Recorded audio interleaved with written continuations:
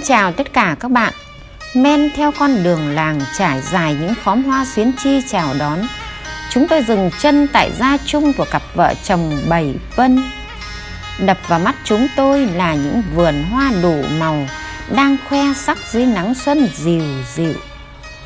Đâu đó, vọng vào những âm thanh quen thuộc ngoài mặt sông, Như tiếng cua trèo dập dềnh trong nước làm cho không khí nơi đây thêm phần sôi động hẳn lên. Chúng tôi như choáng ngợp bởi cái đẹp thanh thoát, hồn nhiên, vô tư của các nàng hoa. Ngắm nhìn nụ hoa chúm chím được chăm sóc bởi đôi bàn tay cần mẫn của vợ chồng chú Bảy Vân. Lòng chúng tôi như trộn rộn hơn bởi thấy hoa là thấy Tết. Nghề trồng hoa gắn liền với cái đẹp Tuy vậy, để có những cây hoa xinh xắn làm đẹp cho đời, người nông dân phải trải qua biết bao nhọc nhằn, mồ hôi và nước mắt.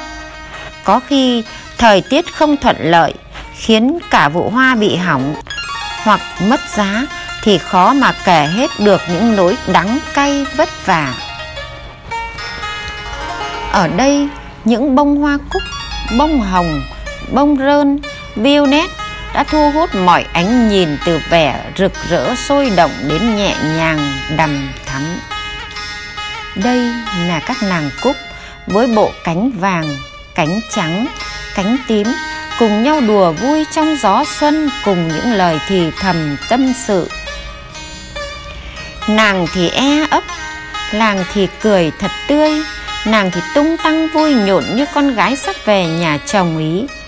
Violet luôn có nét buồn thanh tao, yểu điệu với chiếc váy tím kiêu sa thật duyên dáng, mảnh mai yêu kiều quá. Còn nàng rơn thì luôn toát tuét miệng cười vui, hồn nhiên đến lạ. Tất cả tất cả với đôi bàn tay cần mẫn, chú bảy cô vân với tình yêu hoa. Yêu nghề tha thiết đã tạo nên những vườn hoa tuyệt vời bên dòng sông đa độ tại Cẩm Hoàn, Thanh Sơn, Kiến Thụy, Hải Phòng để phục vụ bà con ngày rằm, mùng 1, cúng dỗ và chơi hoa ngày Tết. Mỗi khi Tết đến xuân về, những loài hoa này luôn có vị trí riêng của nó trong mỗi gia đình. Xuống giống từ tháng 10 âm lịch, cô chú Bảy Vân đã dốc nhiều tâm sức và mong chờ vào vụ hoa cuối năm. Mỗi loại hoa có đặc tính và cách chăm sóc khác nhau. Nếu không thực sự yêu hoa, yêu nét đẹp truyền thống thì rất khó có được những vườn hoa ưng ý, nở đúng thời điểm.